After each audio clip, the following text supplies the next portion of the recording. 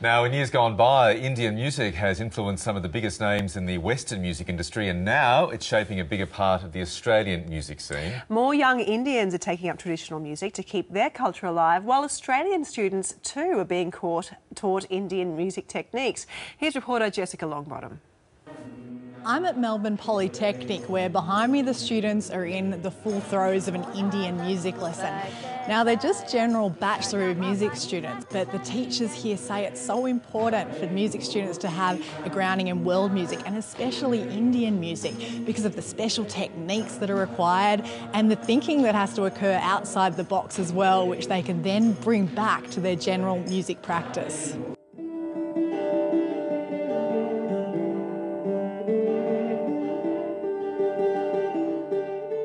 For me, I'm very passionate about Indian music, and um, it's got a legacy of almost 2,000 years, has evolved, and it's very complicated, very complex, and it's such a rich tapestry of music, which I think I have to pass on to the rest of the world.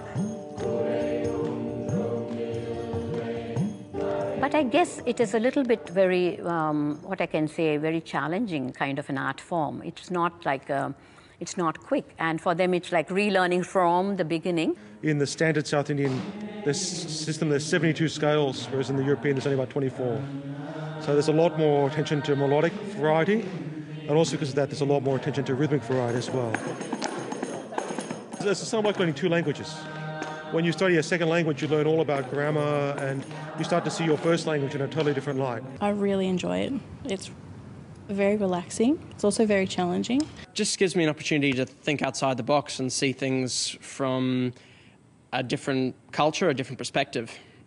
ಶಿವೆ ಶಿವೆ ಶಿವೆ way ಬೇಲ ವರಾನರ ಶಿವೆ ಮೊರಾದಂತು ಶಿವೆ ಶಿವೆ ಶಿವೆ way ಬೇಲ ವರಾನ We believe some, uh, that music has to be in your genes. If you have to have that, um, what we call jnanam in Indian words.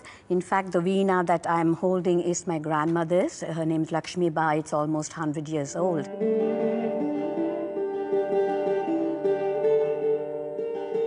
She used to play veena, and then it was my mother, Mangalamuthu Swami. They are all great, what we call vainikas, who play on the veena.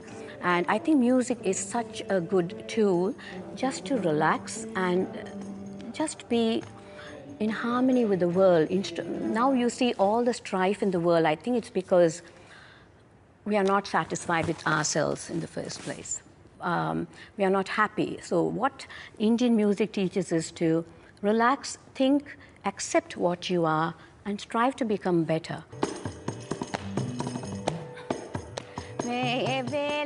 I think it is a great skill, and I'm so, I feel so blessed that I have something that I can offer to the world.